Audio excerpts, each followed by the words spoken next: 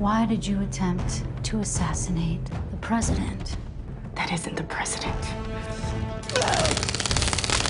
From my blood comes death. Go, my pet. Fetch what I desire.